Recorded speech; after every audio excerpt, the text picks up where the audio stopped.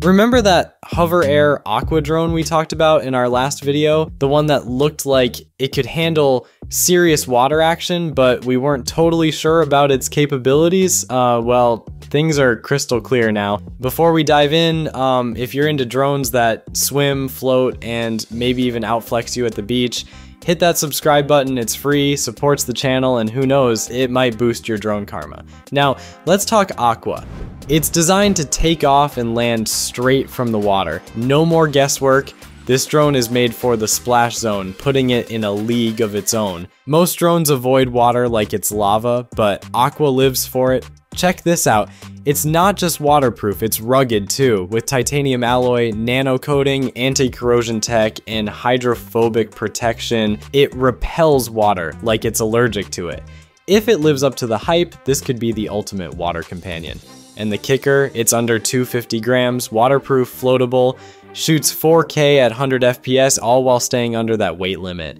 That's not just meeting regulations, it's a performance marvel. And don't let the size fool you. This thing moves, it can hit speeds up to 55 kilometers per hour and holds its own in level 7 wind conditions. That's around 33 knots. Um, camera wise, HoverAir doesn't skimp either. Featuring a 1 over 1.3 inch CMOS sensor, it captures crisp detail even in glare and splashes.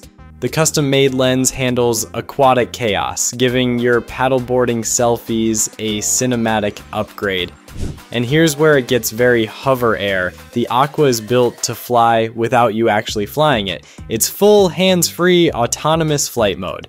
Whether you're kayaking, surfing, or just floating around pretending to be productive, Aqua follows you like your own personal videographer.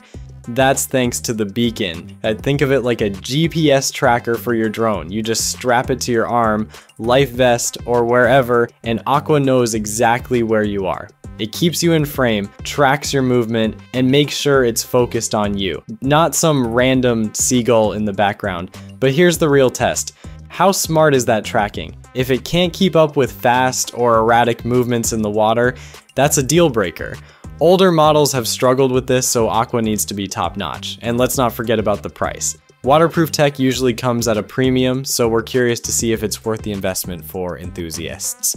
That wraps it up for now, but stay tuned because there's more on the way. Don't forget to subscribe so you don't miss a thing.